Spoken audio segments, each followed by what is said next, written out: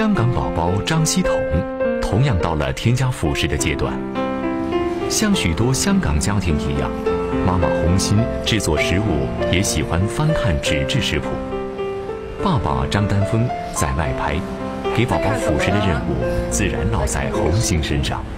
食谱是什么呢？就是妹妹到了四个月以后就开始吃那种，呃，别的东西就不吃，只吃喝牛奶。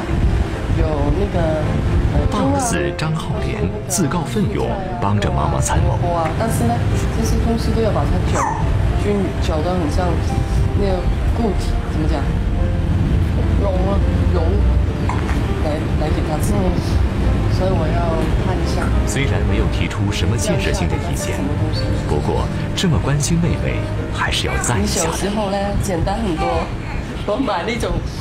罐头的不是罐头的，就是在超市里面买那种有猪肉啊、有鸡肉啊、有鱼肉啊那种罐头的。妈妈、哥哥，你们在看什么呢？也没人问我，我可以点餐吗？六月的香港一线酷热，本来妈妈想让张浩莲在家陪妹妹，而张浩莲。坚决要求和妈妈一起去。我就跟你说啊，爸爸拍戏期间呢，还有妈妈如果出去工作，那家里就要你来照顾妹妹了，知道吧？哦。你会冲奶粉啊，会帮帮帮妹妹冲凉吗？所以我们有时间呢，爸爸就会多教教你这些东西，知道吧？你就全交给你了。啊。好了，那我们准备出去了啊。嗯，买什么？买豆腐，还有土豆。